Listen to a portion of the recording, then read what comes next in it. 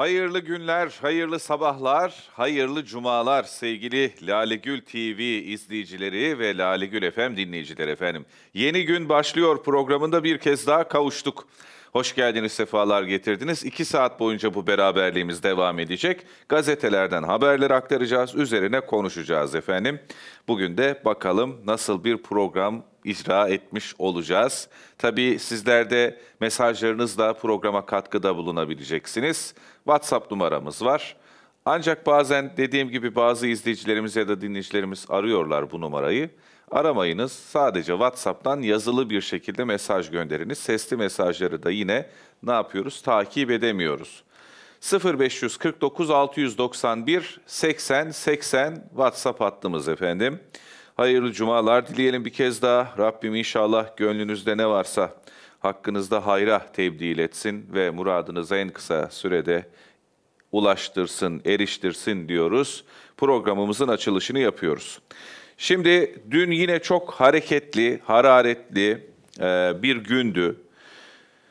Yani bilim kurulu toplantısından sonra Sağlık Bakanı Fahrettin Koca açıklamalarda bulundu. Aşı pazartesi geliyor dedi. E, dün biz aktardık. Uçakta şu an Atatürk e, İstanbul Havalimanı'na indi e, Çin aşısını taşıyan aşı diye.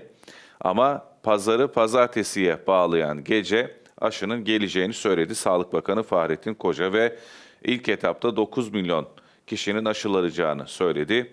Aşının 91 %91.25 oranında etkili olduğunu da ifade etti. Bunlar son teknik bilgilerdi. BioNTech aşısı da Ocak ayında ulaşacakmış. Bizim aşılarımızda e, çalışmalar, çabalar devam ediyor ve çok kısa bir süre içerisinde faz 2 çalışmalarına geçilecek ve e, inşallah bu insanlı testlerinde geri dönüşlerine başlanılmış herhangi bir problemle karşılaşılmamış. Nisan sonunda ya da Nisan başında diyelim daha doğrusu Nisan başında e, yerli aşımızın da hazır olabileceğini söyleyebilirim dedi Sağlık Bakanı Fahrettin Koca. Bir taraftan da e, BioNTech Pfizer aşısı o biraz Avrupa'da e, tartışılıyor BioNTech Pfizer aşısı. E, neden tartışılıyor? Çünkü mRNA yeni teknoloji yani aşıda yeni bir teknoloji şeklinde değerlendiriliyor bu mRNA aşısı. E, bozulabilme imkanı var bunun. Yani soğuk hava zinciri kırıldığı zaman ki soğuk hava zinciri diyoruz öyle eksi 4 falan değil yani bu öyle derin dondurucu soğukluğundan bahsetmiyoruz. Eksi 80 derecelik bir soğukluktan bahsediyoruz. Kolay bir şey değil. Çok çabuk e, soğuk hava zinciri kırılabilecek e, bir aşı türü. Dolayısıyla hem tartışılıyor hem de birkaç tane böyle bir yan etkisi görüldüğü için işte 4-5 kişide tabii yani 20 bin kişiye aşı yapılmış. 4 ya da 5 kişide yüz felci gibi bir e, durum ortaya çıktı. İşte bir tane hemşire canlı yayında bayıldı. Sonra hemşire gerçi öldü dediler ama yok ben hayattayım. E, korktuğum zaman ya da panik olduğum zaman böyle bayılabiliyorum dedi. Gergin olduğum zaman diye. Çünkü aşı vuruluyor. Onlar da tabii ya bize vurdular bu aşıyı ama ne bu aşı acaba diye tedirginlik mi yaşıyorlar bilmiyorum. Her neyse yani aşılama çalışmaları başladı efendim. Bir kez daha soralım size aşı ile ilgili düşünceniz değişti mi yoksa hala aynı yerde misiniz? Aşıyı gerekli görüyor musunuz? Aşı olacak mısınız diye soralım. Bakalım ne çıkacak. Yani çünkü Sağlık Bakanı Fahrettin Koca bu konuyla ilgili ikna edici bilgiler verdi. İnaktif aşı yöntemini neden tercih ettiklerini açıkladı. Çünkü bu inaktif aşı geleneksel aşı yöntemi yani eskiden beri bilinen işte virüsün e, etkisizleştirildiği e, kısmen sersemletildiği, e, öldürüldüğü, yarı ölü vaziyette olan bir virüsün vücuda zerk edilmesi, vücudun bunu tanıması, onu bir an evvel alt etmesi, bu alt edişte de antikor üretmesi tamamen bu. Ee, bu yüzden tercih edildiğini söyledi ve halk e, araştırma merkezlerinde de bu aşı tabii nedir ne değildir araştırılacak. Ondan sonra aşılama çalışmaları başlayacak diyelim. Şimdi BioNTech'in e, aşısını onayladı Avrupa İlaç Ajansı FDA'den sonra yani Amerika'dan sonra Amerika Gıda ve İlaç Dairesi'nden sonra e, Avrupa İlaç Ajansı da BioNTech Pfizer aşısını onayladı ve e, komisyon aşıların dağıtma sürecini başladı. Hatta şöyle söyleyelim, e, erken onay yöntemiyle aşılama zaten başlamıştı. Aşı geldikçe peyderpey aşılama başlamıştı. Amerika'da şu ana kadar 1 milyona yakın insanın aşılandığını biliyoruz. Bu aşı Pfizer-BioNTech'in aşısı, Çin aşısı değil. Yani bize gelecek olan aşıdan değil, kendi aşısı da değil, Moderna'nın da aşısı değil. E, Pfizer-BioNTech aşısını şu anda Amerika'da 1 milyonun üzerinde neredeyse insanın e, yaptırıldı, yaptı, yapıldığı, vurulduğu bunlardan da herhangi bir olumsuz geri dönüş olmadığı raporları var. İzleyelim haberi sonra üzerine konuşuruz efendim. Sizlerden de bu arada mesajları bekliyoruz.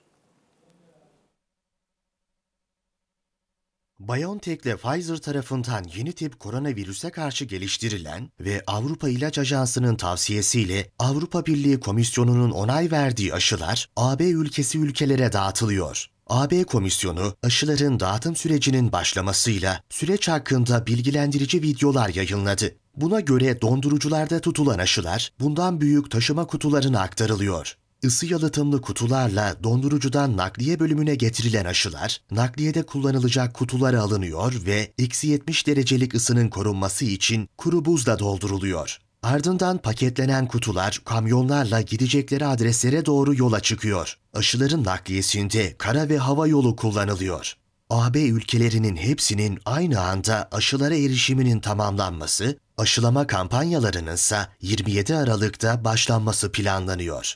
Her ülke öncelikle aşılanacak kişilerin belirlenmesi gibi kendi aşı stratejisini kendisi hazırlıyor. AB Komisyonu aşı geliştiren veya geliştirme aşamasında olan bazı şirketlerde tüm üye ülkeler adına anlaşmalar yaptı ve bugüne kadar 6 şirkette toplam 2 milyon doz aşı satın almak için sözleşme imzaladı. Evet efendim bize yazabilirsiniz. Mustafa Bey ben aşı hakkında şunu düşünüyorum, bunu düşünüyorum. Ben ikna oldum aşı yaptırmak istiyorum ya da hayır ben ikna falan olmadım. Dolayısıyla aşı yaptırmayı da düşünmüyorum şeklinde artık sizin düşünceniz neyse bunu yazabilirsiniz ama nedenini de yazın, sebebini de yazın. Nasıl düşündüğünüzü, niçin öyle düşündüğünüzü de belirtin efendim. Ee, diriliş postasıyla da yavaş yavaş başlayalım gazetelere diyoruz. Efendim 25 Aralık 2020 Cuma günündeyiz. 10 Cemaziyel evvel 1442 Hicri e, takvime göre... E, Diriliş Postası birazdan size aktaracağımız haberi manşetine taşımış. İçişleri Bakanı Süleyman Soylu'nun çıplak arama iftirasının FETÖ'ye ait olduğunu söyledi ve ispatlamazsa namussuzdur dedi.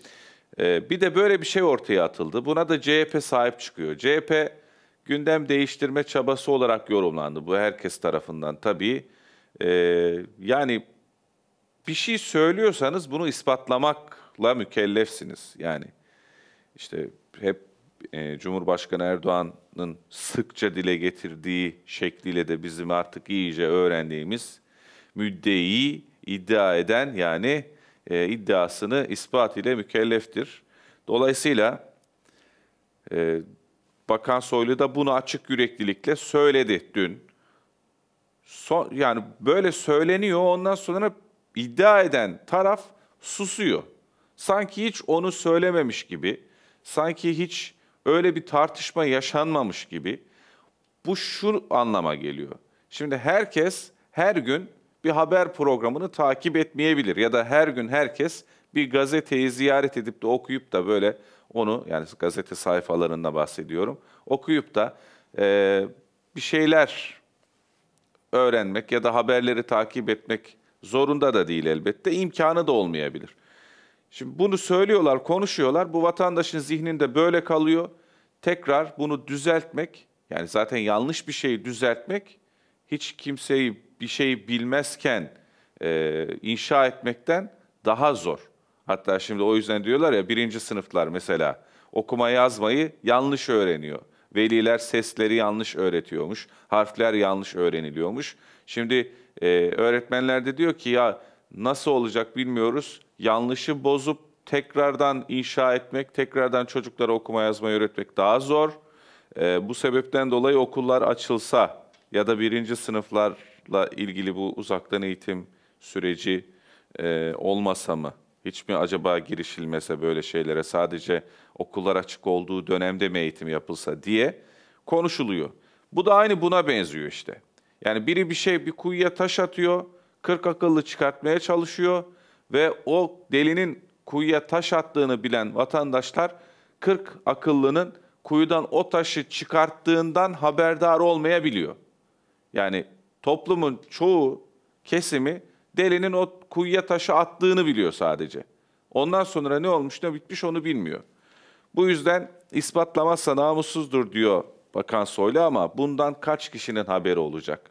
Yani toplumun büyük bir kesimi diyecek ki cezaevinde çıplak arama varmış ya. Bak oradaki mahkumları çıplak arıyorlarmış. Kadınları, çocukları soyarak arıyorlarmış falan diye böyle buna inanacak. Çünkü niye? Üzerine sonraki haberi duymadı. Duysa da inanmadı. İşte inanmak istediği şekliyle inandı, geçti vesaire. Böyle durumlar ortaya çıkıyor. Bu yanlış, bu kirli bir siyaset. Böyle yollara tevessül etmemek gerekiyor. Yalana sarılmamak gerekiyor.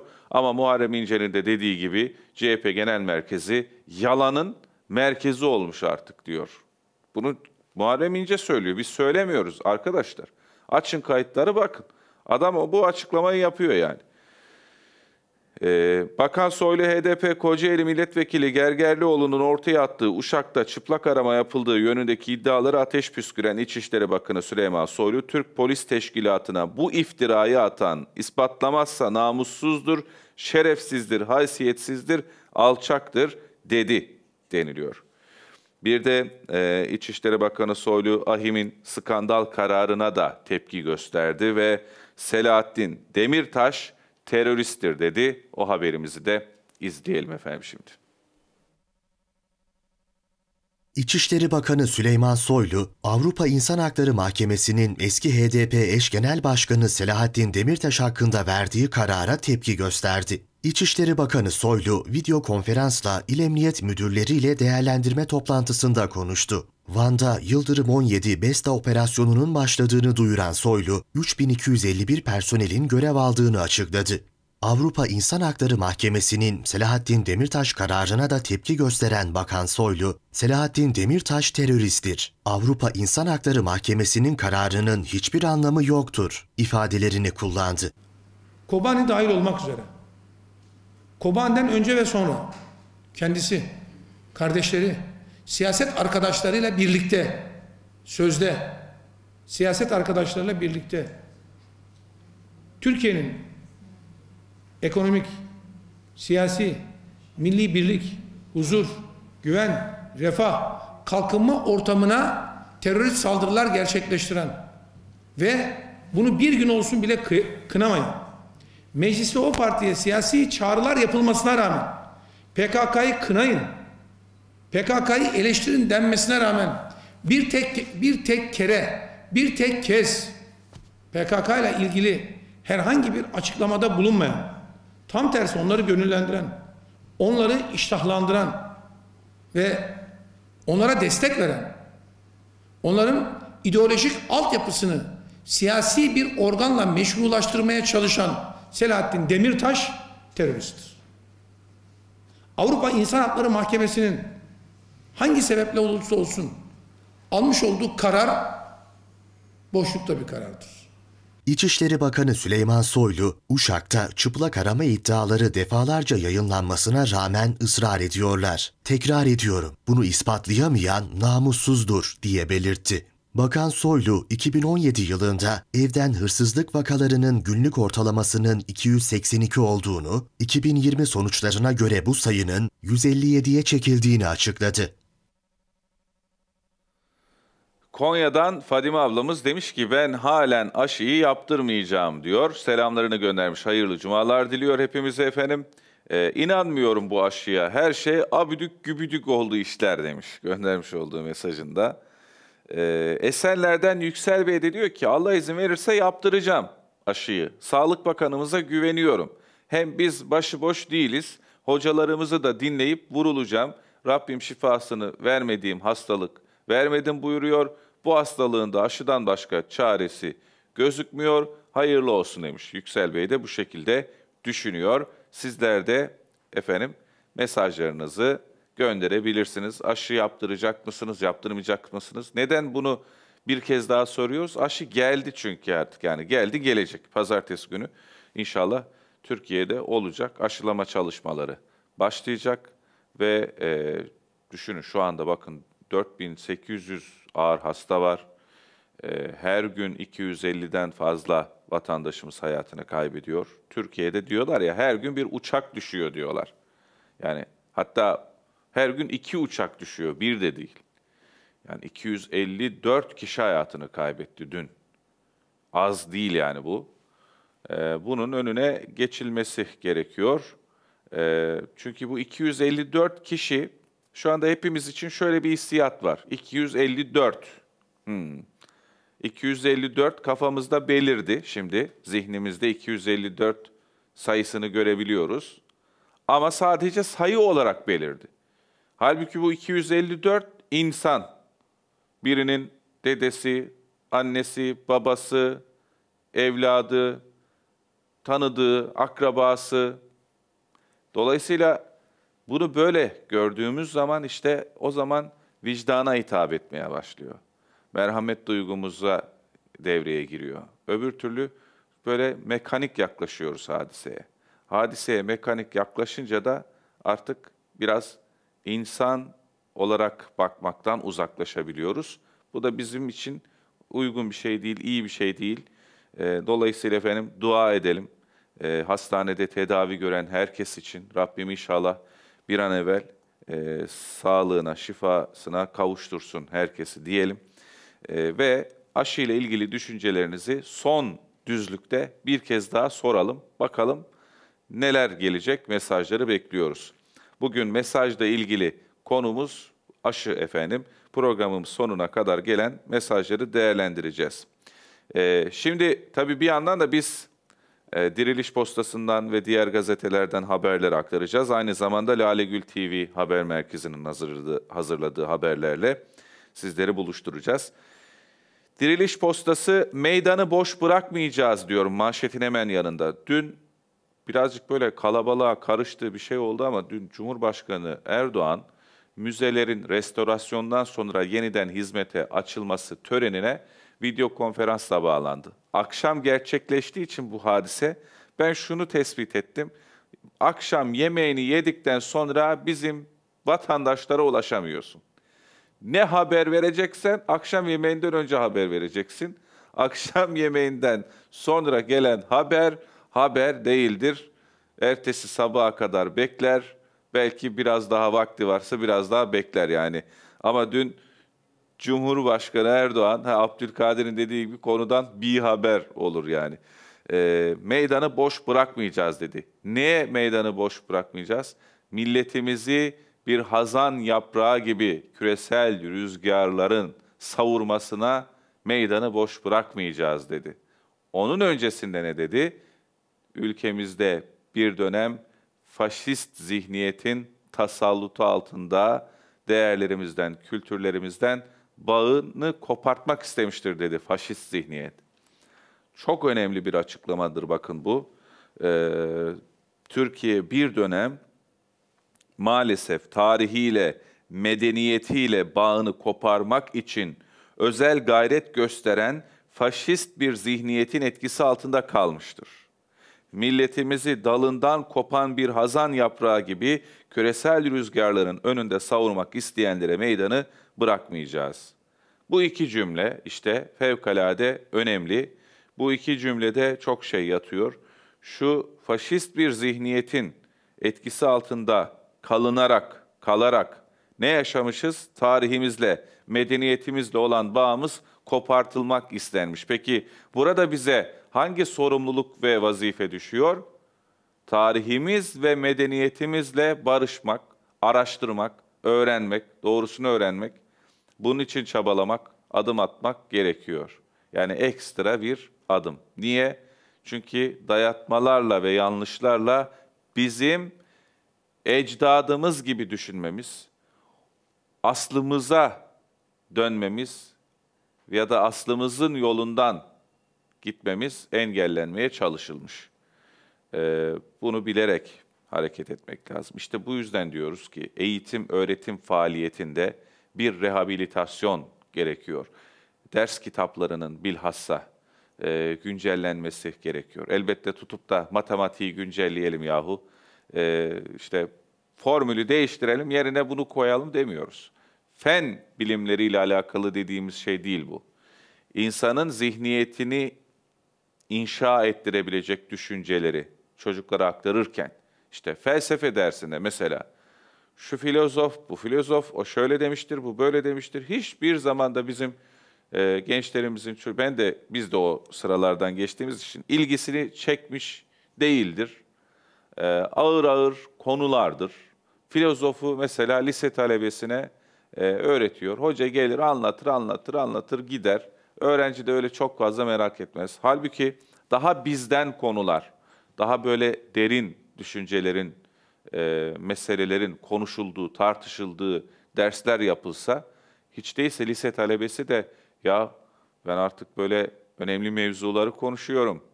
Hatta babamların amcamla muhabbet ederken bile araya giriyorum. Üç beş bir şey de ben söylüyorum deyip böyle bir kişiliği, kimliğini yükseltme, yüceltme e, çalışmaları erken başlayacak. Aklı başında vakur, delikanlılar olacak. Öyle sosyal medyada orada burada gününü gün etmeye çalışan, vakitini boşa harcayan bir nesille karşılaşmayacağız. Yani nesil inşa etmek çok zor bir şeydir.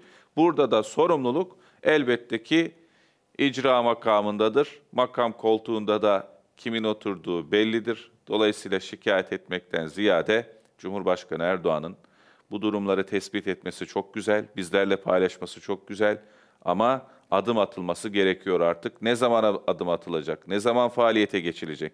Biz hep söylüyoruz ya Milli Eğitim Bakanlığı'nda en azından bir komisyon kurulsun. Yani ders kitaplarının güncellenmesi komisyonu. Adı değiştirilebilir bir şekilde.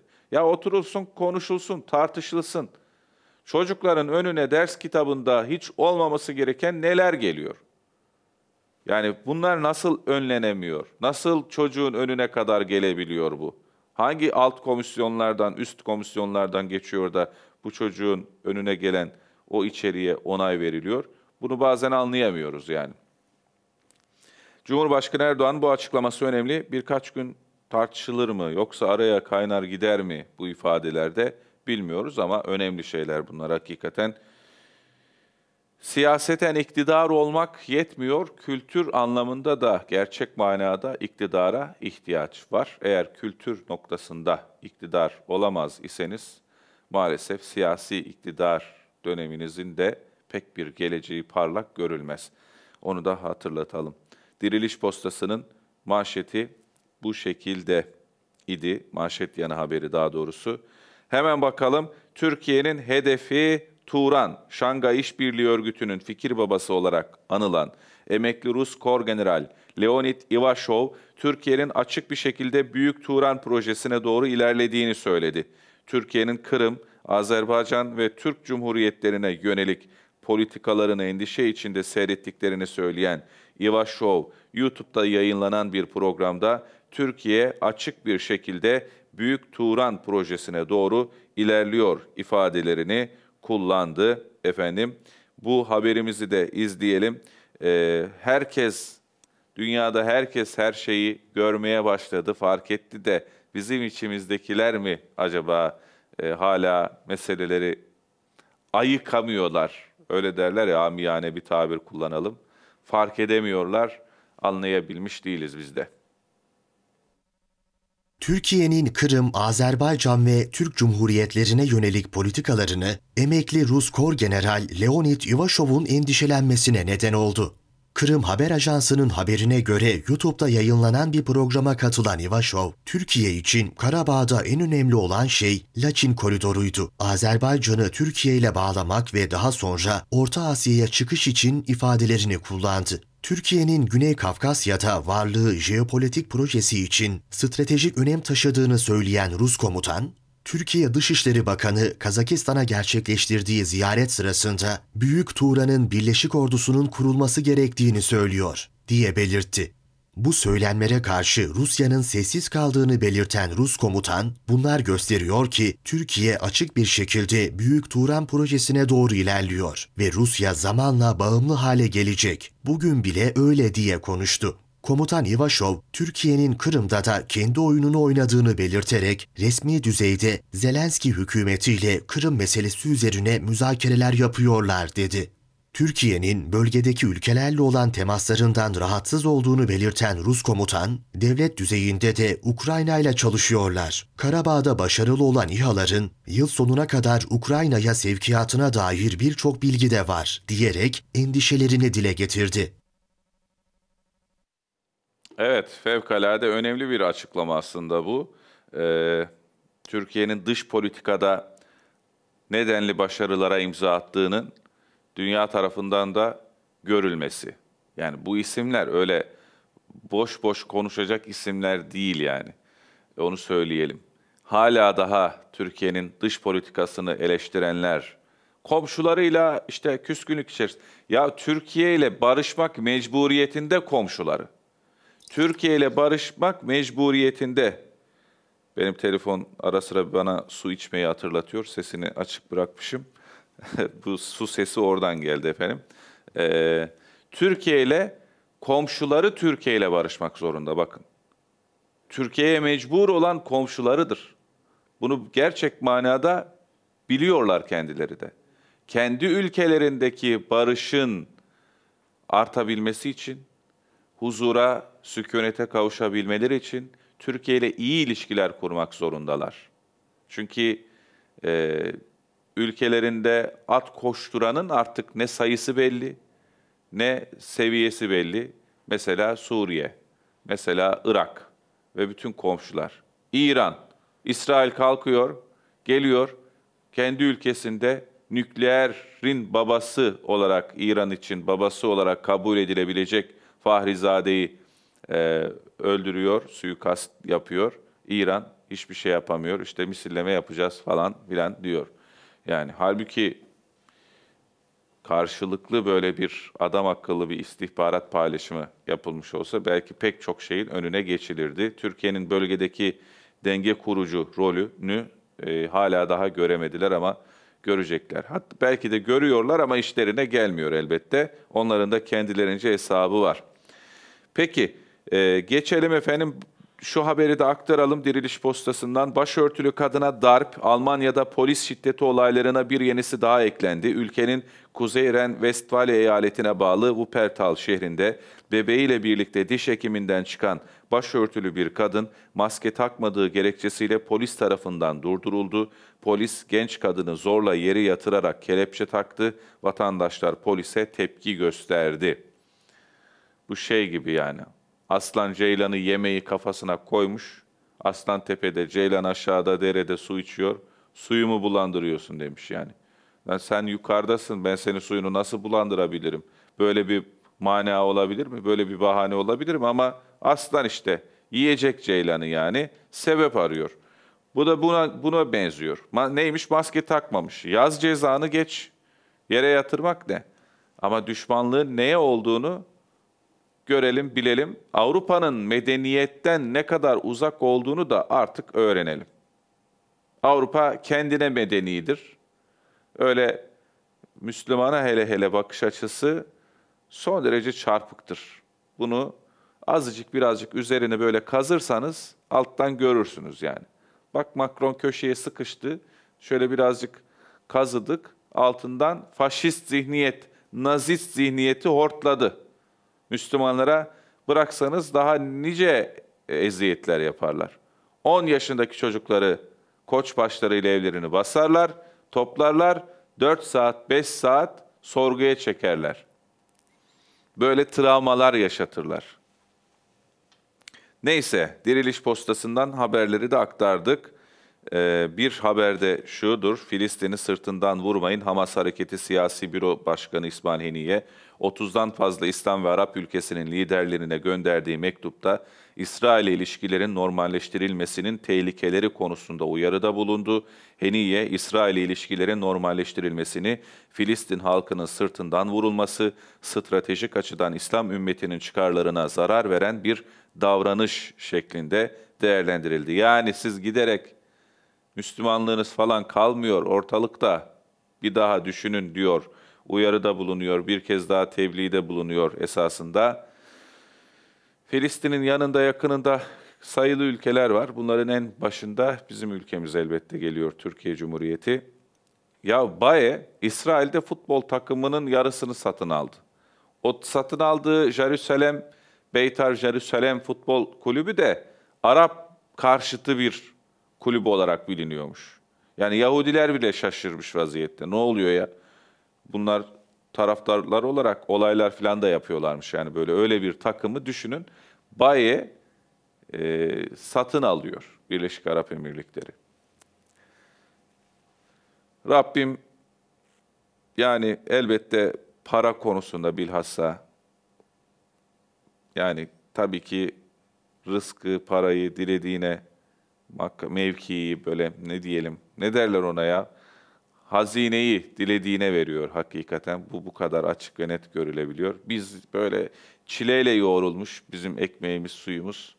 Ee, bak didiniyoruz efendim bir şeyler ortaya koyabilmek için. Bir imtihan, insanların nasıl imtihanları varsa devletin de, devletlerin de aynı şekilde imtihanları var. Oturduğu yerden para akıyor. Parayı bol bulunca da ne yapacağını şaşırıyor. Azıtıyor, azıtmaya da devam ediyor. İnşallah kendilerine çeki düzen verirler diyelim ee, ve devam edelim. Şimdi Aliyev Gubatlı şehrini ziyaret etti dün İlham Aliyev, Azerbaycan Cumhurbaşkanı. Orada açıklamalarda da bulundu. Dedi ki İkinci Dünya Savaşı'nda bile böyle vahşet görülmedi. Çünkü Ermenistan kaçıp giderken bütün köyleri, kentleri yaktı, yıktı, evleri, ahırları, tarihi yerleri. İlham Aliyev'de yani İkinci Dünya Savaşı'nda dahi böyle bir vahşet görülmedi açıklamasında bulundu. Azerbaycan'da Karabağ zaferinin yankıları devam ediyor. Azerbaycan Cumhurbaşkanı İlham Aliyev, işgalden kurtarılan Gubatlı şehrine eşi Mihriban Aliyev'le birlikte ziyaret gerçekleştirdi. İlham Aliyev ziyareti sırasında yıkık durumdaki yerleşim birimlerini göstererek tüm köylerin Ermenistan güçlerince yıkıldığını söyledi. İkinci Dünya Savaşı'nda faşistler bile böyle vahşet yapmadı diyen Aliyev, bakın biz nasıl bir düşmanla savaştık, bölgemizi Kafkasya'yı faşistlerden kurtardık ifadelerini kullandı. Tüm bu köyleri yeniden kuracağız diye belirten Aliyev, düşman bu yaptıkları için hesap verecek. Tüm tarihi ve dini anıtlarımız düşman tarafından yıkıldı. Tüm dünya bunu görmeli diye konuştu. Evet efendim. Ee, ne dedik? Aşı ile ilgili düşüncelerinizi bize yazın. 0549 691 80 80 WhatsApp hattımız. Ne düşünüyorsunuz? Aşı yaptıracak mısınız, yaptırmayacak mısınız? Aşı da yola çıktı, geliyor ya pazartesi günü. Hani süreç birazcık daha hızlandırılabilir. E, acil kullanım onayı falan da verildi zaten. Sağlık e, çalışanları öncelikle ve risk grubu aşılanacak ama öyle ya da böyle sıra bir şekilde bize de gelecek. Ne düşünüyorsunuz diye soruyoruz bir yandan. Şimdi Ermenistan'la ilgili şu haberi de aktaralım. Paşinyan gerginliği devam ediyor Ermenistan'da. Artık Paşinyan biliyorsunuz kiliseden dahi kovuluyor papazlar tarafından. Protestocular Başbakanlık binasının etrafını sardı yine ve sık sık arbede yaşandı. Ermenistan'da Azerbaycan ordusu karşısında Dağlık Karabağ'da yenilgiyi kabul eden anlaşmayı imzalamasından sonra Ermenistan Başbakanı Nikol Paşinyan'a yönelik protesto gösterileri sürüyor. Başkent Erivan'da Paşinyan karşıtı protestocular, Bakanlar Kurulu çalışmasını engellemek amacıyla Başbakanlık binasının etrafını sardı. Güvenlik güçleri Başbakanlık binası başta olmak üzere şehirde bulunan diğer kamu kurum ve kuruluşlarının çevresinde önlemler aldı. Başbakanlık binası önünde bakanların binaya giriş ve çıkışlarını engellemek isteyen protestocularla güvenlik güçleri arasında sık sık arbede yaşandı. Bina çıkışının önündeki yolu kapatan göstericiler resmi araçların geçişini engellemeye çalıştı. Resmi bir araç polisin arasından geçerek protestocuların üzerine doğru ilerledi. Protestocular arabaya kartopu atarak ve yumruklarla saldırdı. Aracı engellemeye çalışan bazı protestocular da gözaltına alındı. Paşinyan başkanlığında toplanan Bakanlar Kurulu sona erdikten sonra protestocular Başbakanlık binasının etrafından ayrılmadı. Cumhuriyet Meydanı'nda çadır kuran protestocular geceyi burada geçirerek gösterilerine devam etti. Muhalefetin başbakan adayı Vazgen Manukyan yaptığı açıklamada Azerbaycan'la savaşın devam ettiğini, sadece savaşın aktif aşamasının sona erdiğini öne sürdü. Manukyan görevde kaldığı sürece ülkenin kaybettiğini belirttiği Paşinyan'ın Azerbaycan'la sınırları belirlemek üzere anlaşma yapacağını kaydetti. Manukyan, Paşinyan ülkeyi çökertti, o suçlu ve hapiste olmak zorundadır ifadesini kullandı. Ermenistan'da halk Paşinyan'ın Azerbaycan karşısındaki mağlubiyeti kabul etmesinin ardından 10 Kasım'da protesto gösterilerine başlamıştı. Mesajlara bir bakalım. Ee, Konya'dan Hatice Oyar ablamız selamlarını göndermiş. Allah razı olsun, hayırlı cumalar diliyor. Ee, Şükriye Özden hanımefendi yine selamlarını göndermiş. Uzunca bir dua etmiş. Allah razı olsun. Ancak e, vaktimiz kalırsa bunu okumaya çalışalım efendim. Bayağı uzunca bir mesaj olmuş Şükriye ablacığım. Kusura bakmayın. Ee, Mustafa Bey kardeşim Zeytinburnu'ndan İbrahim Bey demiş. İbrahim Bey diyor ki Kemal Bey vergiyi uyuşturucu tüccarından alacaksın diyor ya. 1926 yılında CHP tarafından ilk uyuşturucu fabrikası Taksim'de eski Mecidiye kışlasını uyuşturucu üreten bir fabrikaya çevirdiler. 1932'ye kadar uyuşturucu üretip satıldı. Demek ki o zamanlardan akıllarında kalmış. Kendileri iktidara gelemeyince AK Parti'ye oy veren sanatçıya, köylüye, öğretmene iki elim yakanızda diyor. Geceden emekli maaşı için kuyruğa giren ve vefat eden o yaşlı insanların vebali de Kemal Bey'in yakasındadır. Bunlar CHP'deki taciz ve tecavüzleri unutturmak için biz onları tanırız demiş göndermiş olduğu mesajında. Ee, İbrahim abi hakikaten kaliteli yorumlar yapıyor. Birkaç e, programdır özellikle bu hafta boyunca mesajlarını gönderdi. Vallahi her gün bekleriz İbrahim abicim. Yorumlarınızda programımıza değer katabilirsiniz. Bu ülkenin yetim ve dulu mağdur. Hiç değilse bin lira verse devlet haber kanalını özel selamlarla işgal edenler kul hakkına giriyorlar demiş efendim. Göndermiş olduğu mesajında. Yani e, bu şekilde mesajlar göndereceğinize fikirlerinizi paylaşın demek istiyor zannediyorum e, sevgili izleyicimiz ve dinleyicimiz. Yetim ve dullar mağdur bin lira bari aylık bağlansın şeklinde bir çağrısı da var. Bunu biz de dile getirmiş olalım. Daha imkanı olsa da nice nice hizmetlere imza atılabilse hakikaten. Dün mesela bir kardeşimiz yazdı. Abi bizim KYK borçlarımız var. İşte e, bununla ilgili hani şikayetimizi dile getirebilir misiniz? Sesimizi duyurabilir misiniz? KYK borçları silinsin vesaire. Ya şimdi KYK borçları silinmez arkadaşlar. Onu söyleyelim.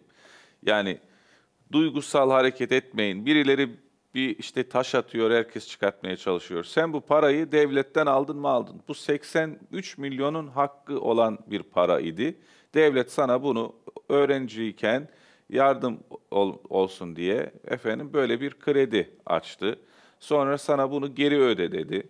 Ödenilmedi. Üzerine bir şekilde faiz bindi. Sonra şimdi o faizi de silerim diyor. Ya da yapılandırırsan işte şu kadar miktarını tüfe oranında tutarım. 18 aya bölerim. Bunu da bana 2 ayda bir öde diyor. 36 ay içerisinde öde diyor.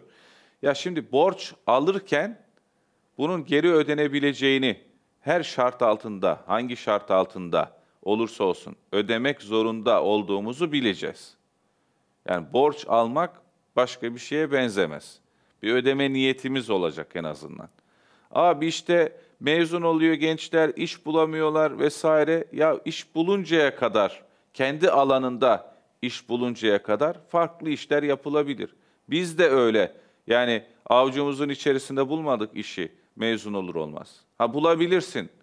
O da senin yine beceri ve kabiliyetine bakıyor. Yani bambaşka bir şey ortaya koyabilirsin, bir özellik ortaya koyabilirsin, bir başarı ortaya koyabilirsin. Havada kaparlar adamı şirketler. Daha öğrenciyken sana burs vermeye bile başlarlar. Aman ha bak mezun olunca bize gel tamam mı?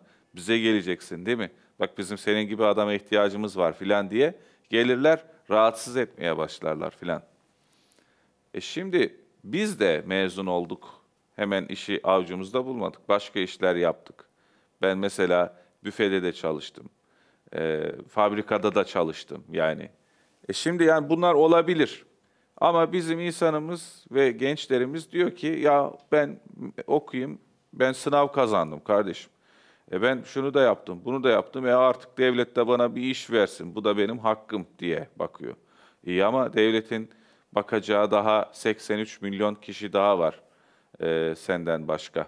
Yani elbette isteriz ki herkesin devlette bir iş garantisi olsun. İsteriz. Ütopik değil mi abi? Ütopya değil mi? Kafamızda. Hayal kurmuyor muyuz yani? Kuralım.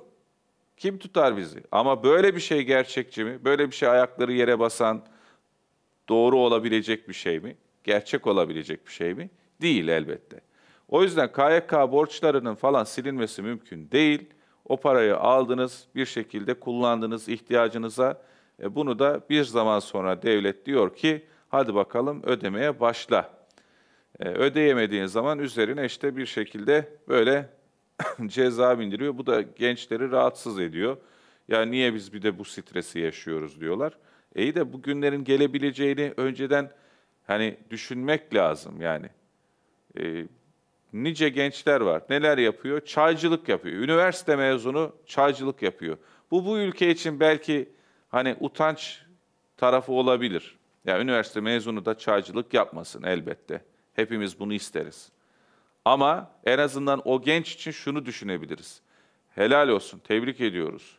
Yani harama, kumara, ona buna sarmamış, bir şekilde helalin peşinden gitmiş, kazancını ortaya koyuyor. Ha, o gence de o cehd ile gayret eden e, gence de Rabbim inşallah bir şekilde yardım eder, yolunu açar yani. Rızkı veren Allah'tır. Her daim bizim düşüncemiz budur. Dolayısıyla Rabbim herkese hayırlı bir iş, hayırlı bir eş, hayırlı bir aş nasip etsin diyelim. Selamünaleyküm. Sancaktepe'den Savaş Güneş selamlarını göndermiş efendim. Ümmeti Muhammed'e hayırlı cumalar, bol bereketli kazançlar demiş. Aleyküm selam bir mukabele. Yine Necmi Kara abimiz selamlarını iletmiş. Ee, şöyle, öyle mi? Reklam aramız varmış bir yandan da. Ee, bu selam kelam kısmında sadece isimleri ben zikredeyim. Beykoz'dan Talha Bey mesela, Gemlik'ten Gül Telci ablamız yine, Hasan Hüseyin Demir, Hadımköy'den yazmış, selamlarını iletmiş, bizimle birlikteler efendim. Ee, Gökhan Kaçmaz diyor ki Esenyurt'tan, abi ben Tayyip Erdoğan canlı yayında aşı olursa ben de olurum, ancak öyle güvenebilirim demiş. Peki Sağlık Bakanı Fahrettin Koca aşı olsa güvenir misin Gökhan? Yani illa yok abi beni diyor herhalde Tayyip Erdoğan'dan başkası kesmez, o aşı olursa ben de aşı olurum mı diyorsun yoksa başka yetkililer aşı olursa aşı olur musun? Ee, Akhisar'dan Mehtap Yılmaz ablamız yine selamlarını göndermiş. Can kulağıyla dinliyoruz diyor. Aşı vesile şifası Allah'tan inşallah demiş. Avcılardan Ayhan Bey yine selamlarını göndermiş. Cumamızı tebrik ediyor efendim. Eyvallah. Mesajları yine okuyacağız, aktarmaya devam edeceğiz. Gelsin, gelmeye devam etsin. Bir fikir ortaya koyalım en azından aşılarla ilgili. Kısa bir ara sonrasında buradayız.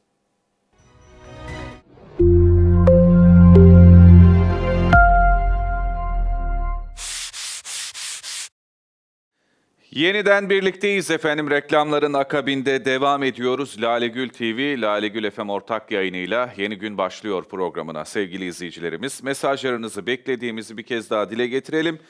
0549 691 80 80 WhatsApp hattımız.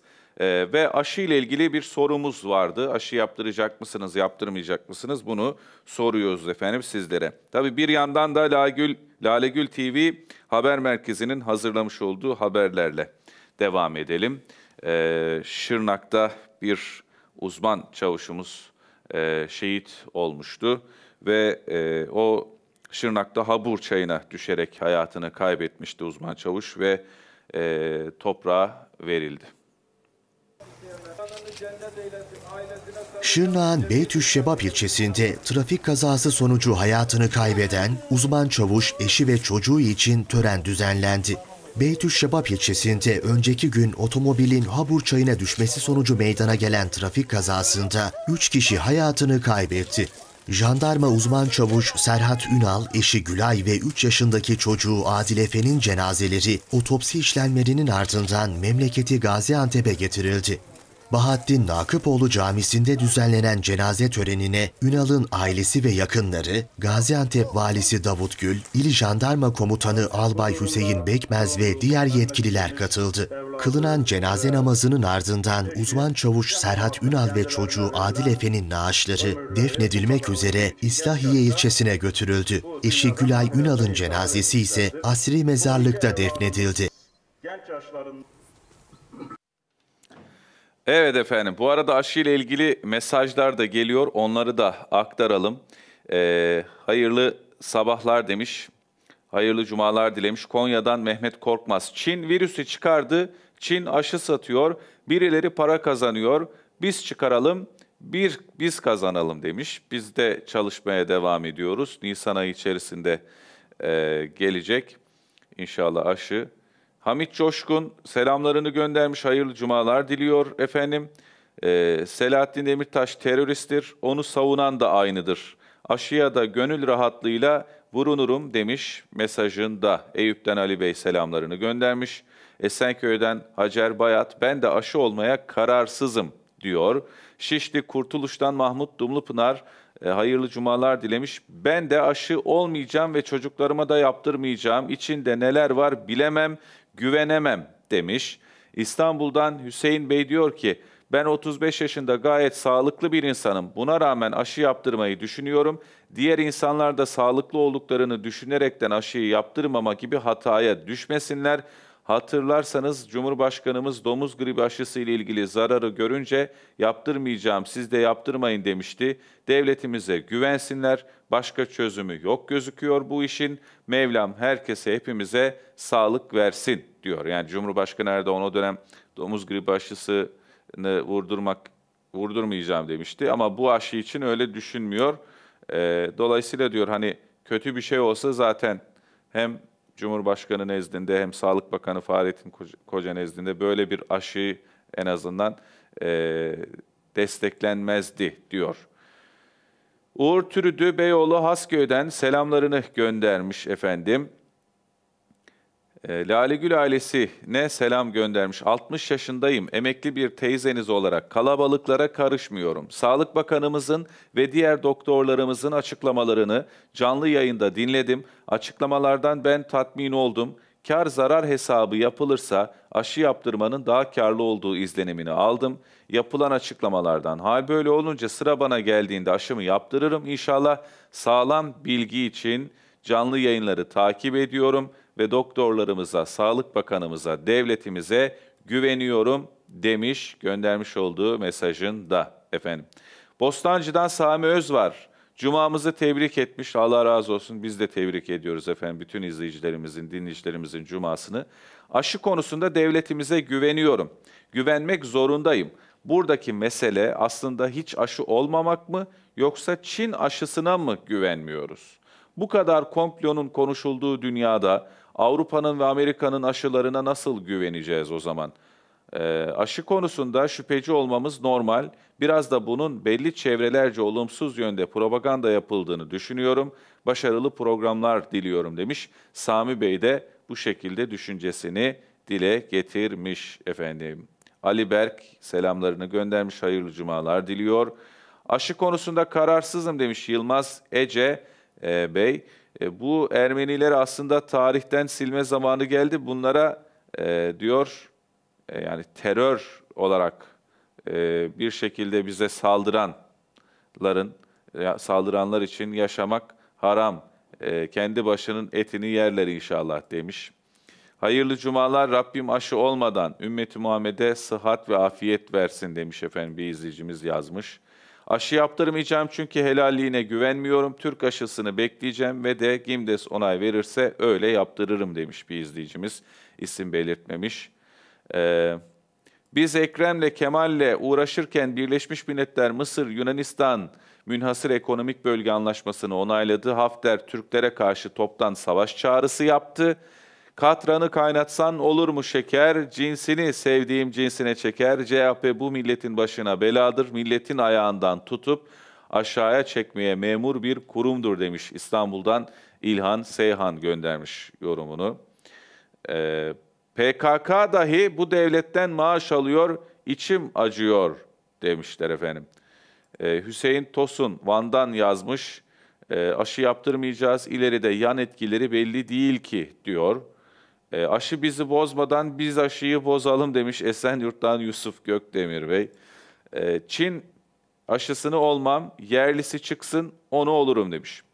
Bu, bu arada Sağlık Bakanı Fahrettin Koca e, bununla ilgili açıklamayı da yaptı. Çin'in Sinovac aşısının yani Sinovac şirketinin yaptığı aşının yöntemiyle bizim şu anda üzerinde çalıştığımız farklı metotlar da var ama en hızlı bir şekilde sürecin e, tamamlanmaya yaklaştığı aşı metodumuzla aynı. Yani inaktif aşı ikisi de. İkisi de virüsün belli bir seviyede öldürülmesi, sersemletilmesi, yarı etkisiz hale getirilmesi şekliyle vücuda zerk edilmesi. Yani aşağı yukarı e, aşı metodu aynı. Dolayısıyla bunun Çin'le, e, Avrupa'yla vesairesiyle alakası yok. Metot olarak aynı olduğu için ve şu anda aşı Türkiye'ye ulaşacak. Bir de araştırma yapılacak elbette ne var ne, ne yok bunun içerisinde. Ekstra bir e, çalışma daha yapılacak. Ondan sonra nihai karar verilecek ve aşılama devam edecek. Her gelen aşı tek tek kontrol edilecek. Yani parti parti bunların hepsi kontrol edilecek. Onu da söylemiş olalım. E, hayırlı sabahlar, hayırlı cumalar abi. Allah bizden gibi görünenlerin kötülüğünden bizleri korusun inşallah demiş. Amin. Abi e, bu teröriste kim müsaade ediyor internet kullanmayı? Eğer internet kullanmak serbestse bütün mahkumlar kullansın. Devletime sesleniyorum izin vermesin demiş. Bağcılar Tabya'dan Burak Çakar. Selahattin Demirtaş halen daha e, zannediyorum Twitter hesabı aktif bir şekilde kullanılıyor. Tabii o kim tarafından kullanılıyor e, bilmiyoruz. Aşıyı aslında biz sizden daha vatansever'iz diyen CHP'li yöneticilerin üzerinde denenmesi daha iyi olurdu. Biz de görmüş olurduk. Yaşım 30 daha göremedim bunların vatanseverliğini demiş. Aşıyı e, Sağlık Bakanı'nı hele Cumhurbaşkanı'nı tanıyamıyorum artık. Vatandaş onu asla yalnız bırakmadı ama şu an bizi duymuyor. Aşıya karşıyız ve azınlık da değil bu sayı. Aşıyı vurulursalarda güvenmiyoruz. Aynı aşıyı vurduğuna nasıl emin olunur ki demiş göndermiş olduğu mesajında. E, isim yazılmamış tabii bu mesaja. Şunu söyleyelim. Yani bu kadar çok güvensizlikle zaten hayatta zor yaşanılır. E, dolayısıyla efendim e, yani aynı aşının olduğu ne malum şeklinde düşünmek pek doğru bir şey değil en azından. Yani Sağlık Bakanı Fahrettin Koca için, Cumhurbaşkanı Erdoğan için bunları düşünebilmek. E, madem e, bu konuda güvenmiyoruz, neden siyaseten bir şekilde daha iyiye götüreceğine inanıyoruz o zaman? Yani ona inanmıyorsan öbür tarafa da hiç inanmaman gerekiyor. O zaman bu bir çelişki olur. Ee, yani aşı konusunda o kişiye güvenmiyorsan dış politika konusunda nasıl güvenirsin? İç siyaset konusunda nasıl güvenebilirsin değil mi? Ee, bir şekilde güvenmeden de birilerine güvenmeden de hayat yaşanmıyor. Yani illa bir şekilde e, öyle ya da böyle birilerine güven duymak zorunda insanlar. Ha bunu yaparken de elbette kılı kırk yarmalı. Onu da söyleyelim. E şimdi sağlık e, ekibi de bu mevzuda kılı kırk yarar bir pozisyonda ilerliyorlar ve vatandaşı diyorlar ki bunu biz dayatmayacağız, ikna yöntemiyle yapacağız. Şunu yap yapamazlar mı? Yani bir kararnameyle aşı vurulmak zorunlu denilemez mi? Denilebilir ama bunu da yapmıyorlar. Vatandaşın kendisine bırakıyorlar bu işi. Şimdi bu süreçle ilgili de çok tartışmalar var. Mesela işte efendim Türkiye'de koronavirüs var. Neden e, kısıtlama olmuyor? Niye iki haftalık kapanma olmuyor? Üç haftalık kapanma olmuyor? Bir hafta herkes evine girsin, bir ay herkes evine girsin çıkmasın diyenler var. Amerika'da mesela şu ana kadar 335 bine yaklaştı. Belki de geçmiştir. En sonki şeyi bilmiyorum ama dün baktığımda 332 bini geçmişti. Ee, ve her gün binlerce kişi hayatını kaybediyor. Şu ana kadar tek bir gün dahi kısıtlama yapmadı Amerika. Tek bir gün dahi uçuşlarını da kapatmadı Amerika. Şu anda baktığınız zaman milyonlarca vakası var. Ee, sağlık sistemi tamamen çökmüş vaziyette. Ona rağmen Amerika'da hayat durdurulmadı. Ha, belli başlı kısıtlamalar var. Bizdeki gibi işte restoranlar paket serviste hizmet ediyor. İşte kuaförler belli bir saat çalışıyor. Şöyle oluyor, böyle oluyor. İşte ama hayat topyekün e, kapatılmadı, durdurulmadı. Böyle de bir durum var.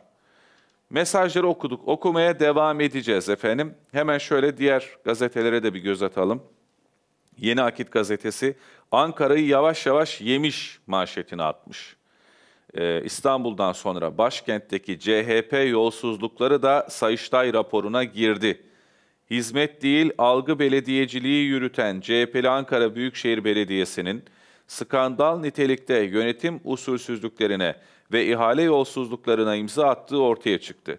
Bir buçuk yılı aşkın başkanlık döneminde hiçbir ciddi projede imzası olmayan ABB Başkanı Mansur Yavaş'ın 48 usulsüz işin altında mührünün bulunduğu ortaya çıktı.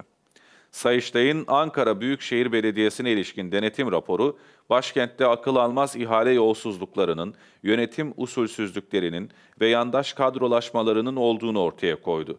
Tek tek kayıt altına alınan 48 usulsüzlükten 8'inin doğrudan ihale yolu, yolsuzluğuyla ilgili olduğu, ikisinin yandaş kadrolaşmayı deşifre ettiği, altısının da iş bilmezlik nedeniyle kamunun zarara uğratıldığı projeleri kapsadığı belirlendi. Yavaş'ın yandaşları zengin etmek adına ihale kanununu değiştirdiği, rekabeti engelleyici koşulları şartnameye koyduğu, liyakati hiçe sayan işe alımlar gerçekleştirdiği ve birçok projede kamuyu bilinçli olarak zarara uğrattığı öğrenildi. Öte yandan trilyonlarca liralık belediye kaynağının yandaş dernek ve vakıflara aktarıldığı da Sayıştay müfettişlerinin gözünden kaçmadı denilmiş. Hizmetten çok algı üreten Ankara Büyükşehir Belediye Başkanı Mansur Yavaş vatandaşlar büyük zorluklar yaşadıktan sonra lütfedip yollara tuz döktürdü diyor. Başkent bir santimetre kara teslim insanlar e, güçlük yaşamış, kazalar meydana gelmiş, tuzlama çalışmaları yapılmadığı için Ankara'da. Araçlar kayıyor, kazalar yaşanıyor, maddi zarar oluşuyor, insanların can güvenliği tehlikede. Mansur Bey'in belediyeciliği işte budur diyor vatandaşlar. Bu şekilde yazmış Yeni Akit gazetesi manşetine. AK Parti döneminin icraatlarını sahiplendiği programda Akit'e hakaretler yağdırdı. Akit'in soruları terletti, Ekrem kinini kustu diyor. Basın özgürlüğü söylemi balon çıktı. Seçim sürecinde herkese eşit mesafede olacağını, 16 milyonun tamamını kucaklayacağını vaat eden İmamoğlu, toplantı sırasında Akit TV muhabirinin yönelttiği soruya dahi tahammül edemeyerek iki yüzlü tavrını gözler önüne serdi. Akit medyaya yönelik hakaret içerikli küstahça sözler kullanan İmamoğlu, sözde icraatlarını sayarken de AK Parti dönemine ait projeleri sahiplendi denilmiş. Haberde şuydu başlık, şimdi de barınakları boşaltıyor e, üst başlığıyla. Dün biz de bunu okuduk bu haberi. Hayvan Ekrem'in umrunda değil. Hayvan virgül Ekrem'in umrunda değil şeklinde bir başlık. Bunu Ekrem İmamoğlu bana Bu böyle yazmışlar. Hayvan Ekrem yazmışlar diyor. Ee, Akit gazetesi ve Akit TV'de ya imla kurallarından da mı haberi yok Ekrem İmamoğlu'nun? Orada öyle mi yazıyor? Bir kez daha okusun. Hayvan virgül Ekrem'in umrunda değil demek istiyor Rus deniliyor. Böyle bir savunması var Akit TV'nin de. Ekrem İmamoğlu da bunu e, öne koşarak e, sorusuna cevap vermedi Akit TV muhabirinin. Soru da önemli bir soruydu. Hem halk ekmek üzerinden hem metrobüs kalabalıklığı üzerinden ve bu durumun çözülemeyeceği. Seçimden önce biliyorsunuz e, vaatleri sıralarken metrobüste herkesin artık rahatlıkla oturabileceğinden bahsetmişti. Bununla ilgili sürprizlerimiz var demişti. Ve en çok ihtiyaç olunan koronavirüs sürecinde ne yazık ki vat- metrobüsler daha da kalabalıklaştı. Böyle de bir durum var. Ekrem İmamoğlu bu metrobüsle ilgili sorulara cevap vermiyor. Onu söyleyelim. Yeni Akit'in dünkü birinci sayfasından verdiği ve İmamoğlu'nun sokak hayvanlarından ve maliyetlerinden kurtulma yolları aramasını konu alan hayvan Ekrem'in umrunda değil başlıklı haberimizi çarpıtan İmamoğlu, Akit'e yönelik hakaret dolu sözler sarf etti. İBB'nin düzenlediği Şebi Arus etkinliğinde Türkçe Kur'an okunmasına yönelik Diyanet İşleri Başkanlığı'ndan, siyasetçilerden ve STK'lardan gelen tepkilerle ilgili soruya da cevap veren İmamoğlu, haberim yoktu, bence de Şebi Arus'ta Yüce Kur'an'ın Arapça okunması gerekiyordu diyerek büyük bir pişkinliğe imza attı.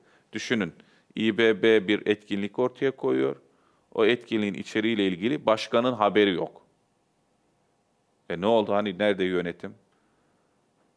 Yani oho böyle işlerde falan haberiniz olmayacaksa nasıl olacak bu işler yani? Milleti galeyana getirecek türden işlere imza atıyor, sinir uçlarıyla oynamaya devam ediyor. Ee, bu hiç doğru bir hareket değil. Bir nabız yoklaması yapılıyor, tepki gelince geri adım atılıyor. İşte haberimiz yoktu, bilmiyorduk. Allah Allah peki soruşturma açılacak mı diyorsunuz sorumlular hakkında. Yok bu aile içi bir mesele. Soruşturma düşünmüyoruz şeklinde cevap veriliyor. Ya insan hiç değilse ceza ver demiyoruz. Hiç neden böyle bir garabete imza atıldı? Sizin haberiniz yoksa bizim habere ihtiyacımız var. Yani haberimizin olmasını önemsiyoruz. Çünkü bu bizim temel hakkımız. Nasıl oluyor da İBB'nin organizasyonunda böyle bir garabete imza atılıyor? Sorumluları kim ve neden bu işi yapmışlar? Bir sorun. Ya bu soruya cevap verin o zaman. Tamam Akit TV'nin gazeteciliğini beğenmeyebilirsin vesaire ama soruyu önemse. Bu sorunun cevabını vatandaş duymak istiyor. Ver soruya cevap ver.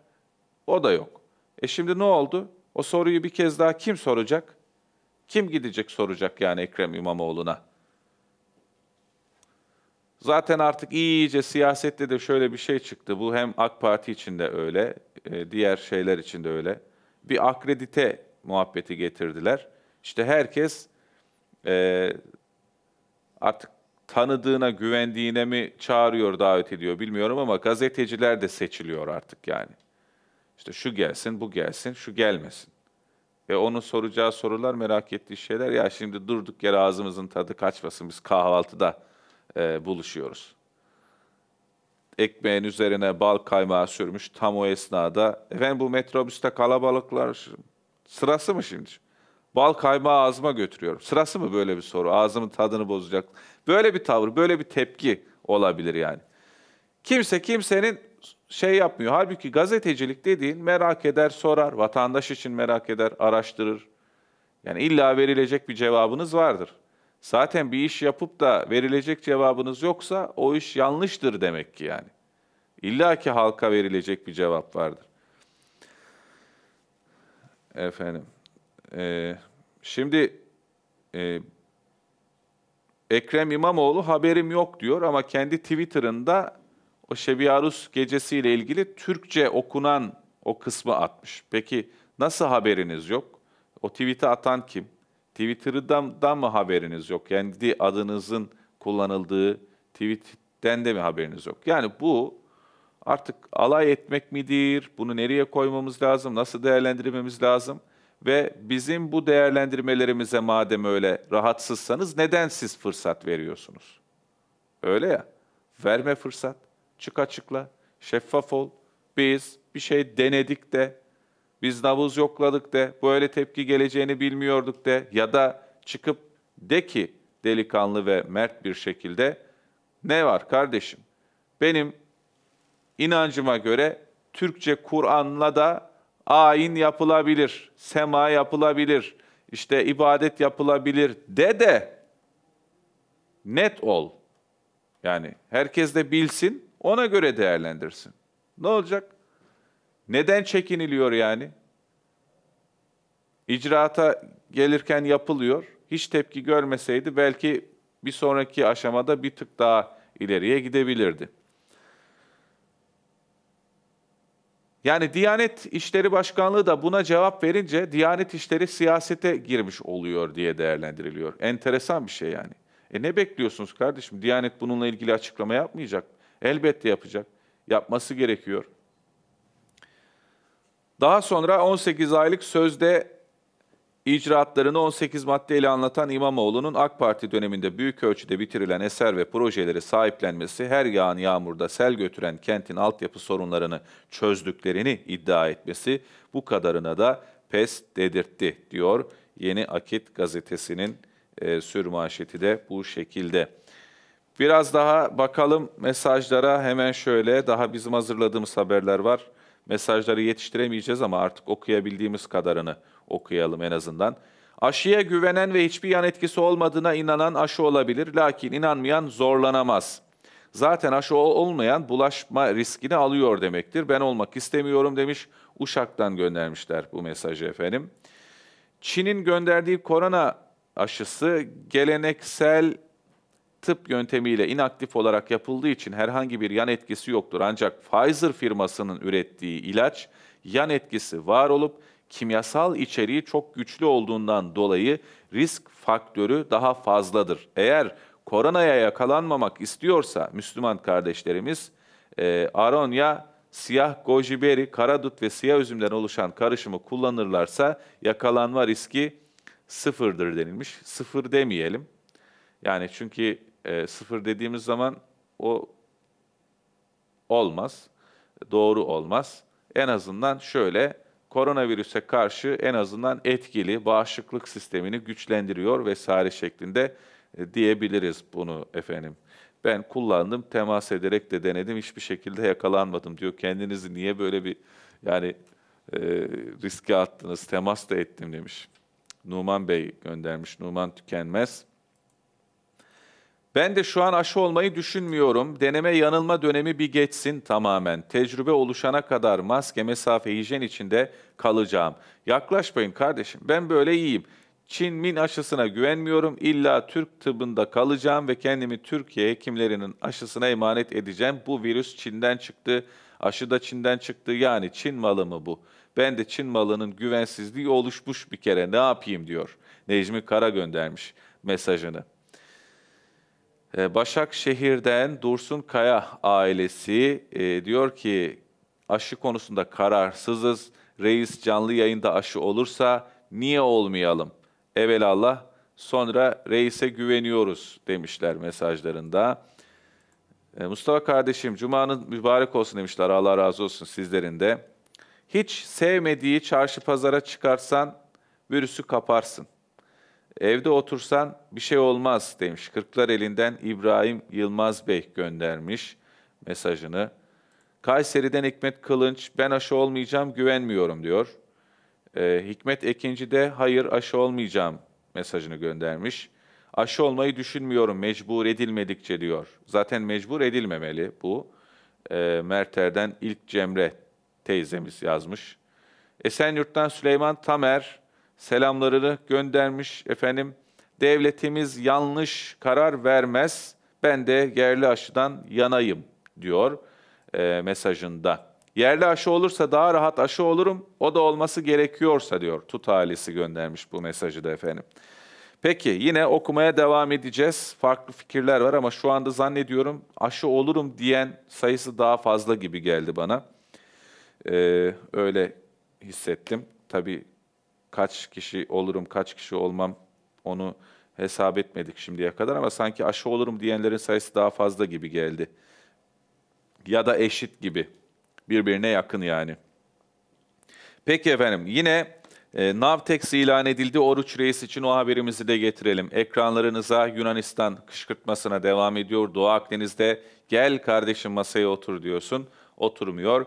E, Oruç Reis'in daha önceki görev süresi Kasım sonuna kadardı. 29 Kasım'a kadar devam edecekti. Şimdi ya bunu böyle az az açıklıyoruz. Sürekli her hafta neredeyse Navtex ilan etmek zorunda kalıyoruz.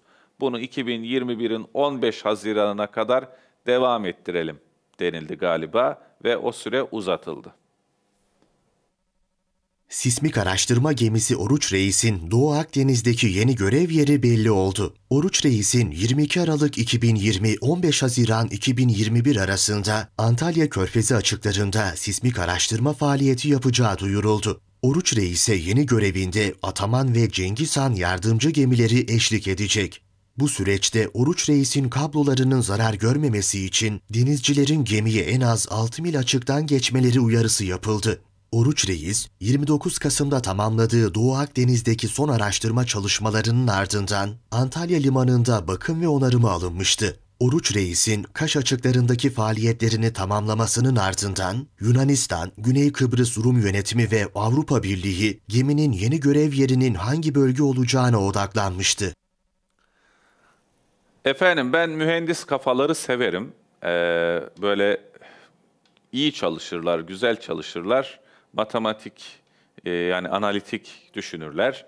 E, dolayısıyla mesela e, bunun bir örneği Erzincan'da bir mühendis verimsiz tarım arazileri e, ya da tarıma elverişsiz araziler diyelim. Bu bölgeleri güneş enerjisi sistemiyle e, kullanmış ve elektrik üretim paneli kurmuş. 100 dönümlük arazi üzerine kurulan panel 3600 hanenin elektrik ihtiyacını karşılamaktaymış. Erzincan'da bir kimya mühendisinin tarıma elverişsiz 100 dönümlük arazi üzerine kurduğu güneş panelleriyle 3600 hanenin ihtiyacını karşılayacak miktarda elektrik üretiyor. Yörede güneş panelleriyle elektrik üretimi yapmaya karar veren mühendis İlker Taş'tan, yakınlarının bölgenin iklim şartları nedeniyle bu işe girişmemesi yönündeki uyarılarına kulak asmayarak çalışmaya başladı. 100 dönüm arazi üzerinde 6 megawattlık bir güneş enerjisi santralimiz var. Buradan da yıllık ortalama 10 milyon 500 bin kilowatt saat elektrik ürettik. Ee, insanlar tabii başlarda Doğu Anadolu bölgesinde bir şehir olması hasabıyla üretimin düşük olacağını düşündü. E, fakat Erzincan şu an Türkiye'de e, en yüksek elektrik üreten güneşten ilk 5 il arasına girecek bir üretim kapasitesine sahip. Bu anlamda çok verimli. Aynı zamanda bu arazilerin tarım dışı arazisi arazi olması dolayısıyla da e, tarım dışındaki bu kıraç arazilerde ekonomiye kazandırılmış oldu. Üzümlü ilçesine bağlı Pişkidağ köyü yakınlarında bulunan tepenin yamaçlarında 100 dönümlük tarıma elverişsiz arazi üzerine yaklaşık 8 milyon dolarlık yatırımla güneş panelleri kuran Taş'tan elde ettiği yüksek verimle önemli güneş enerjisi sistemi projeleri arasında yer almayı başardı. Ürettiği elektriği Erzincan EDAŞ aracılığıyla ulusal şebekeye aktaran Taş'tan, girişimiyle hem yöre hem de ülke ekonomisine katkıda bulunmanın mutluluğunu yaşıyor. Efendim, e, Diyanet bir süredir uzaktan eğitim vermeye e, başladı ve devam ediyor bu e, hizmet.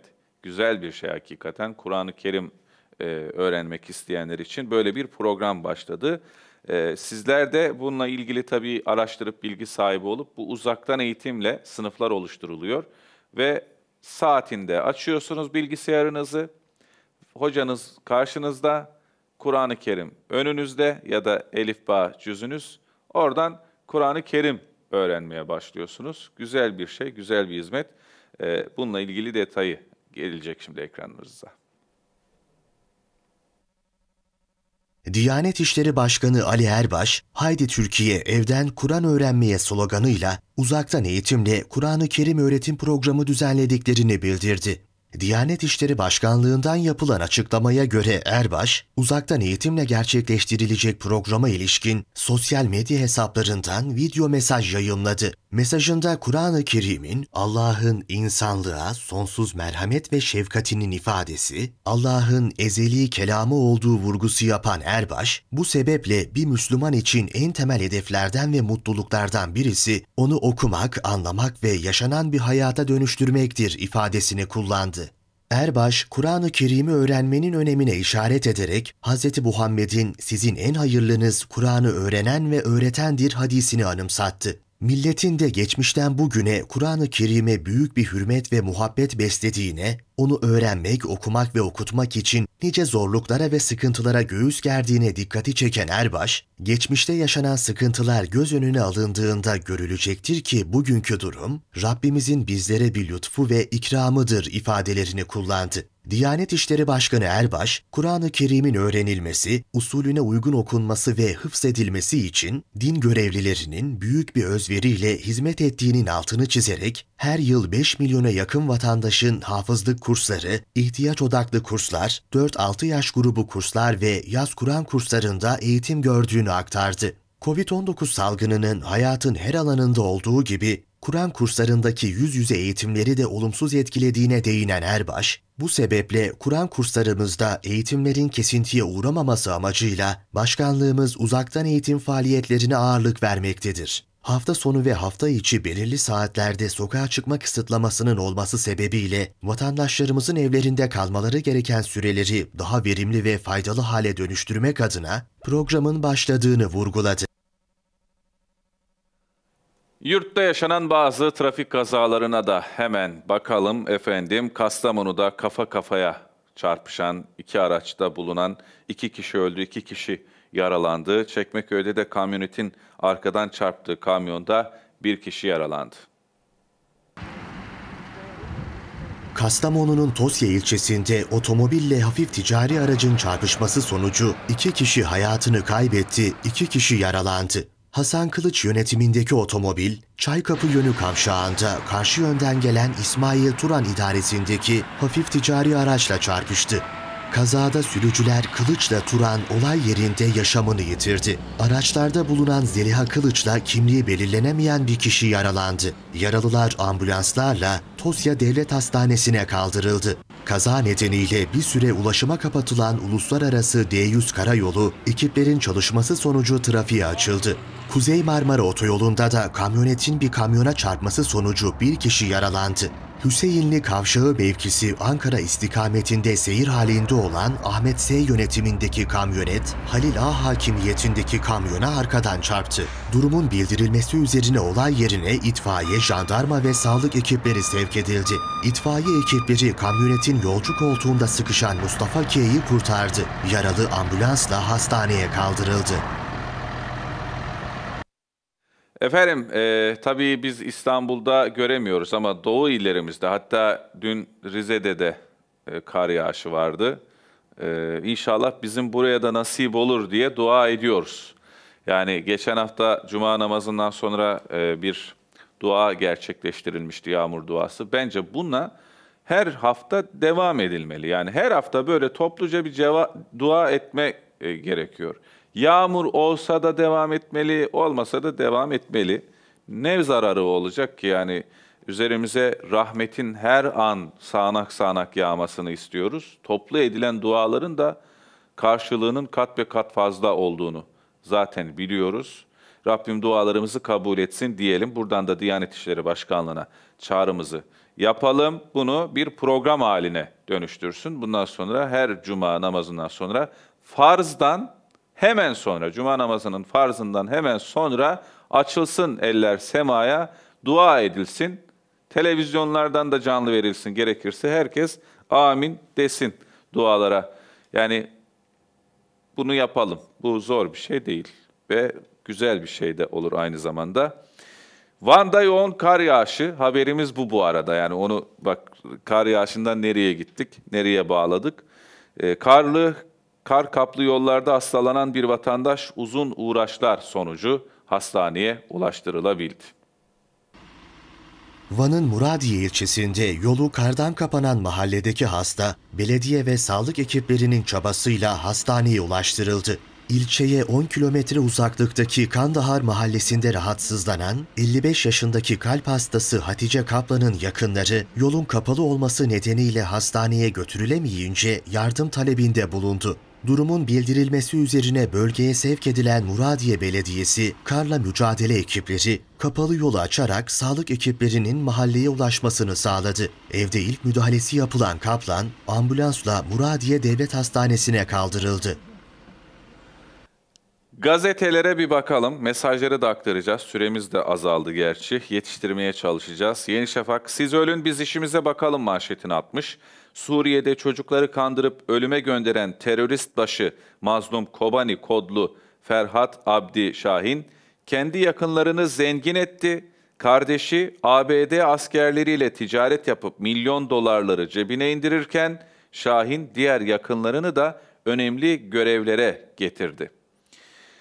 50 milyon dolar Ukrayna'da bölgeyi iyi bilen aktivistler tarafından kurulan Kürt Gözlemevi, terör örgütü PKK-YPG elebaşlarının yolsuzluklarını belge ve resimlerle deşifre etti.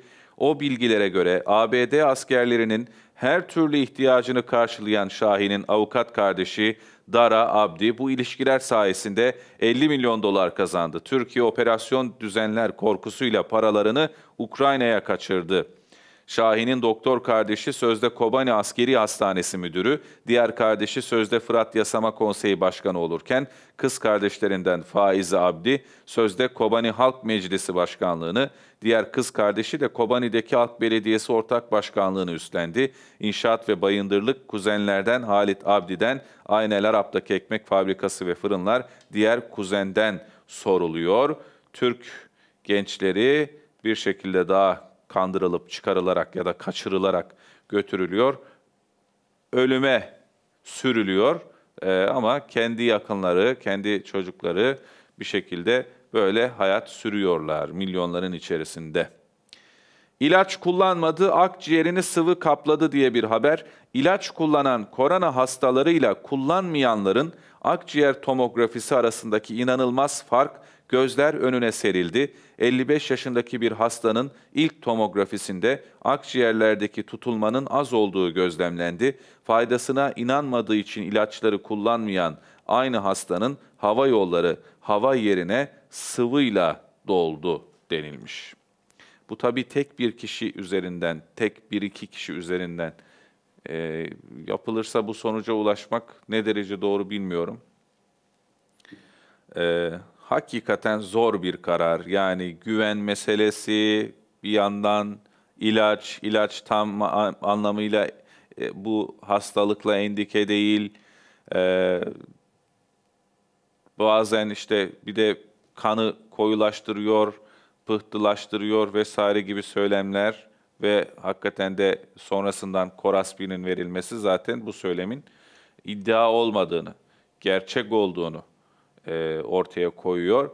E şimdi ya herkes de kendi sağlığını önemser yani böyle bir ilacı ben niye kullanayım ki kendim atlatabilirim falan diyebilir. Burada en azından şunu söyleyelim yani insan kendini iyi ya da kötü bilebilir. Ya bu ilaç herkese veriliyor. Biz şunu biliyoruz. E, hastalık diye bir şey yoktur, hasta vardır derler ya. Yani sana bulaştığı zaman sendeki etkisiyle bana bulaştığı zaman bendeki etkisi aynı değil. Dolayısıyla ortada bir hastalık yok. Hasta var. Yani sana ne iyi geliyor, bana ne iyi geliyor. Belli bir tedavi protokolü var. Bu protokolün dışına çıkılmıyor. Bu kimilerine iyi geliyor, kimilerine iyi gelmiyor. Yani şöyle bir araştırma ve klinik bir bilgiye rastlamış değiliz. Nedir o? Ya bu ilaç acaba kaç kişinin de ölümüne sebep oldu? Bu biliniyor mu? Elbette ilaç kullananla kullanmayan arasında tomografide belki fark çıkmış olabilir bir kişi için ama bu ilaçtan mı kaynaklandı bu etki yoksa zaten o kişinin ciğerinde sıvı toplanmayacak mıydı? İlaç kullanan kişide de zaten hafif mi atlatacaktı? İlaç e, kullanan Hepsi karıştı şu anda. Sığdırmaya çalışıyorum ya 5 dakikaya. 5 5 dakikaya yani şunu söylemek istiyorum. İlaç kullananla kullanmayan arasındaki farkı anlayabilmemiz için e, daha fazla veriye ihtiyaç var. Yani tek kişi üzerinden değil de bin kişi üzerinden araştırma yaptık. İlaç kullanmayanların ciğerleri su topluyor, ilaç kullananların ciğeri su toplamıyor. E, şeyine ulaşıldı mı, bilgisine ulaşıldı mı onu merak ediyoruz yani. Onu söylemeye çalışıyorum. Oh be bitirdik bugün de bir şekilde yayını yetiştirmeye çalışıyorum. Şimdi anlaşılan o ki gazetelerden haberleri e, yetiştiremeyeceğiz. En azından mesaj okuyayım birkaç tane daha hemen. Demiş ki bir kardeşimiz, abi dün akşam eve giderken servisçi arkadaşın açtığı bir radyo kanalında bütün bir program devleti, hükümeti, reisi kötüleyip iç alkol muhabbetleri yapıp ve dahası yılbaşını kutlamak, hediye alıp vermek günah değilmiş. Gel de gülme bunlara. Çoluk çocuğu bunlardan uzak tutmak lazım maazallah. Bunların iyice bir denetlenmesi lazım. Ayaşlar fetva vermeye çıktılar en sonunda diyor göndermiş olduğu mesajında. Ee, İzmir'den Salih Yıldız Bey yazmış. Reisimize, Sağlık Bakanımıza, doktorlarımıza güveniyoruz. Allah korona mikrobunu, içimizdeki bütün mikropları yok etsin diyor. Selo teröristtir, kim ne derse desin. Maske, mesafe, temizlik kurallarına uyalım, sağlıkçılarımıza saygılı olalım. Saldıranların da cezalarını artırsınlar. Asgari ücreti işverenler geçmişine baksın, zenginliği veren Allah geri de alır. Ben ikaz ediyorum hepsini. İmamoğlu bizi salak sanmasın, kırmızı çizgilerimizi güzel öğrenin. Ayasofya'da hala Yasin okumadı. Bugün Cuma. Hayırlı e, yayınlar demiş. Böyle tek tek yani kısa geçmiş, iyi de olmuş. E, teşekkür ediyoruz. Silivri'den Güner ailesi hayırlı cumalar demişler. Allah razı olsun. Efendim uzun oldu helal ediniz ama he, ben diyor Çin aşısının damarlarıma zerk edilmesinden yana değilim demişler efendim. E, Türk aşısını da vurulmayabilirim. Karışıklık çok var dimağlarımızda demiş. E, aşı için de dua edilsin cuma günleri diyor. Sezer ailesi Trabzon'dan izliyormuş bizleri. Selamlarını göndermişler. Başarılar diliyorlar. Allah razı olsun. E, başka bakalım. Gonyalılar der ki abi Akit de sana bayılıp giderdi demiş. Ee, başka ne var? Üzülüyorum. Ee, sizleri ilgiyle izliyorum ama siyasete bulaştınız demişler. Yani siyasete bulaştık demeyelim ona. Toplumsal meseleler, hayatımıza etki eden meseleler konusunda bir fikrimiz var elbette ve bu fikrimizi beyan etmemiz gerekiyor efendim. Öyle ya da böyle. Eğer e, siyaseten öyle ya da böyle bir şeyleri incelemezsek, hayatta neler olup bitiyor, bunu analiz etmezsek, oturup konuşmazsak, burada bir istişare yapmazsak, fikir alışverişinde bulunmazsak, o zaman doğruyu zor buluruz. Çünkü neden? Bugün siyaset öyle ya da böyle hayatımızı derinden etkiliyor bakış açınızı birazcık daha bence e, değiştirebilirsiniz. Biz de size naçizane bunu tavsiye ediyoruz, bunu öneriyoruz. Reis değil aşı zehir vurulun dese yaptırırım demiş Nurullah Koç. Reis ne derse vardır hikmeti. Öyle de değil şimdi. Onu şimdi bu kadar çok abartmayalım Nurullah abicim. Yani Müslüman hiçbir zaman aklını geri plana atmaz. Güveneceğiz ama sonsuz bir güven olmaz. Çünkü Efendimiz ne buyuruyor? Bir kişiyle yani e, düşman olduğun kişiyle de, dost olduğun kişiyle de muhabbetinde ölçülü olman gerekiyor. Çünkü düşman gördüğün kişi bir zaman gelir dostun olabilir, dostun olan kişi de bir zaman gelir düşmanın olabilir. Dolayısıyla biz kim haktan hakikatten yanaysa her zaman ondan yani onunla beraber olmak zorundayız. Bir de tasvip ettiğimiz şeyler var, tasvip etmediğimiz şeyler var. Dün ne dedik? Eğer bir doğruyu, apaçık bir doğruyu CHP dile getirip de o savunuyorsa, biz de siyaseten CHP'nin yaptığı diğer işleri asla tasvip etmediğimiz için onu da aynı kefenin içerisine koyarak tasvip etmemezlik yapamayız. Deriz ki CHP şu konuda haklı. CHP şu konuda doğru olanı yapıyor. Aynı şekilde AK Parti şimdiye kadar yaptığı doğruların oranı şu. Ama şu konularda da yanlış yapıyorsa onlara da diyeceğiz ki AK Parti şu konularda yanlış. Ki zaten bunu da söylüyoruz. Yani yanlış olduğu konuları da dile getirdik. Buna da uzun uzun değindik. Değinmediniz efendim siz diyenler geçmiş programlarımıza baksınlar. Ee, biz kim doğru iş yapıyorsa onun doğrusunu konuşuyoruz. Kim yanlış yapıyorsa onun da yanlışını naçizane hatırlatıyoruz. Düzeltmesi gerektiğini tavsiye ediyoruz. Hiç değilse üzerinde bir fikir teatisinde bulunuyoruz. Kimle? Sizle işte. O yüzden mesajlarınızı bekliyoruz diyoruz ya. Bugünkü programımızın da sonuna geldik ve haftayı kapatıyoruz. Artık Allah'tan bir mani olmaz ise, can tende kalmayı sürdürürse, pazartesi günü inşallah saatler 08'i gösterdiğinde bu ekranda bir kez daha sizlerle birlikte olmak ümidi içerisindeyiz. İnşallah Rabbim yeniden kavuşabilmeyi nasip etsin. Hayırlı cumalar diliyoruz efendim. Hoşça bakın zatınıza.